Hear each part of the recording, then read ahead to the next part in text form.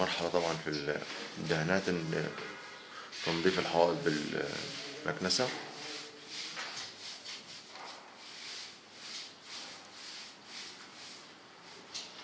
بعد كده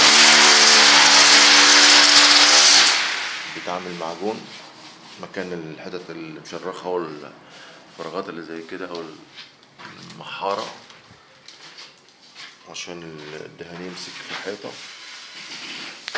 وبعد كده الصنفرة أول وش وبعد كده تاني وش وتالت وش. وطبعا مننساش إن إحنا إيه نعمل يبقى فيه آه وقت عشان كل مرحلة تنشف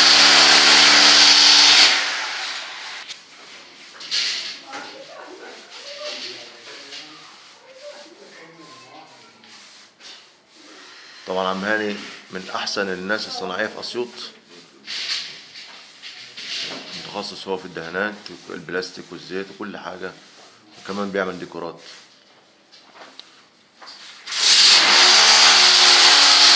بعد كده مرحلة المعجون وطبعا لو كان في معجون كتيرة زي مرحلة كتيرة كده الأفضل تجيب شكارة معجون أحسن من إيه؟ من الجالون المعجون أوفر. شكارة المعجون اللي هو البريمو بعد كده بنمحر بنمعجن الحتة اللي هي فيها نتوءات أو شروخ بسيطة أو محارة. حتة المرمات طبعا لازم تتمحر.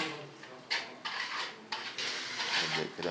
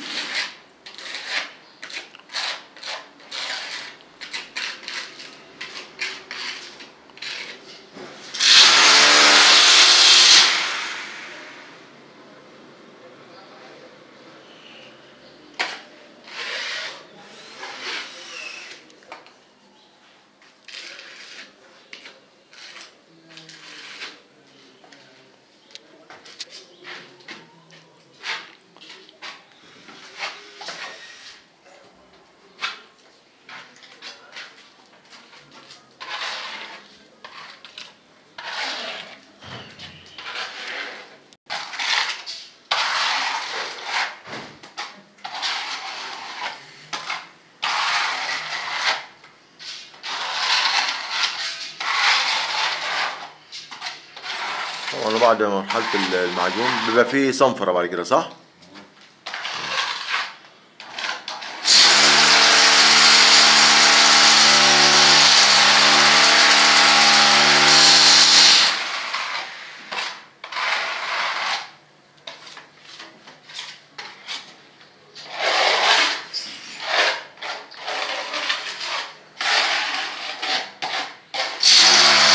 بعد كده الصنفرة ويبقى فيه وش أول ووش تاني ووش تالت لغاية لما إيه؟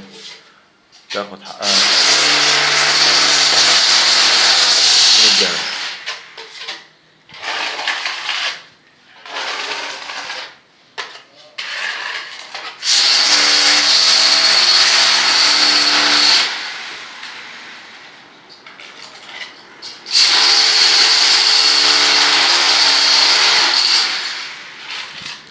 طبعا المحارة دي كانت أساسا والترميم ده كان مكان شروخ بس مش شروخ سهلة يعني بسيطة. مش. الشرخ ال 45 هو اللي شرحناه في فيديو قبل كده الشرخ ال 45 ده بيبقى ناشئ عن تغيير في الأحمال أو حد من الجيران بنى فعمل إيه تريح في ناحية البناء. ده شرخ ال 45 لكن شرخ الرأسي أو الأفقي ده ده تريح بسيط جدا ما يهمناش ولا يخوفناش في أي حاجة. وحتى شرخ ال 45 برضه ما يخوفناش في حاجة.